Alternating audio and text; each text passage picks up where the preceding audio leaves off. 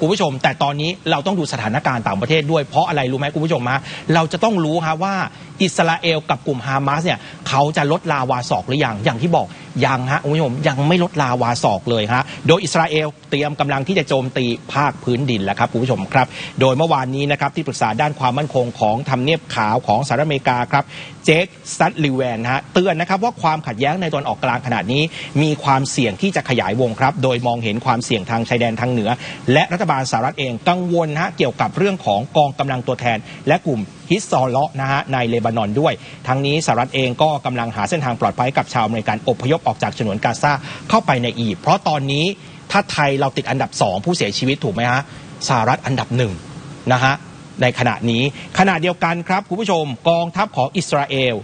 ประกาศครับว่ายังคงเปิดทางให้ชาวกาซาเนี่ยนะครับอบพยพออกไปทางตอนใต้ ก่อนที่กองทัพอิสราเอลจะเริ่มโจมตีทางภาคพื้นดินแล้วนะครับ โดยเมื่อวันทิตย์ที่ผ่านมาครับรถถังและก็พาหนะต่างๆนะครับของอกองทัพอิสราเอลได้เข้าประชิดชายแดนกาซาแล้วนะครับเพื่อเตรียมโจมตีหลังจากก่อนหน้านี้มีการโจมตีทางอากาศอย่างหนักหน่วงครับ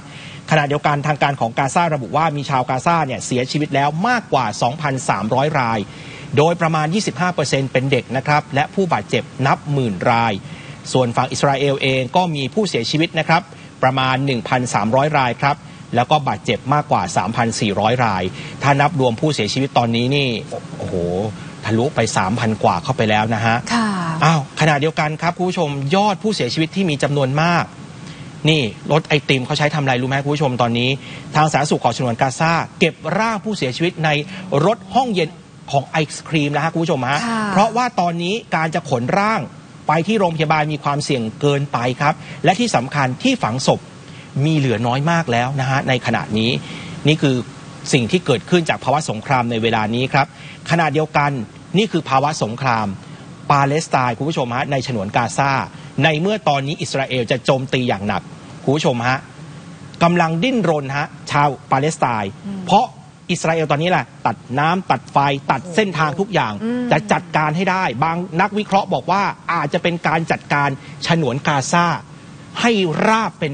หน้ากลองไปเลย ดังนั้นชาวปาเลสไตน์จำนวนมากที่อยู่ในฉนวนกาซาฮะต้องสำรองอาหารน้ำแล้วก็ความปลอดภัยฮะก่อนที่กองทัพอิสราเอล ซึ่งประกาศจะโจมตีภาคพื้นดิน และตอนนี้อิสราเอลหยุดการส่งน้ำให้กาซาแล้วนะฮะทำให้ตอนนี้ต้องไปพึ่งน้ำบ่อฮะซึ่งจะเห็นว่าตอนนี้ประชาชนจำนวนมากที่ปาเลสไตน์ที่ฉนวนกาซาเข้าคิวยาวนอกมัสยิดในเมืองคานยูนิสเพื่อเติมน้ำฮะนี่คือภาวะสงครามที่เกิดขึ้นในตอนนี้ฮะคุณผู้ชมฮะค่ะซึ่งไม่มีท่าทีลดลาวาศอกเลยคุณนุ่นใช่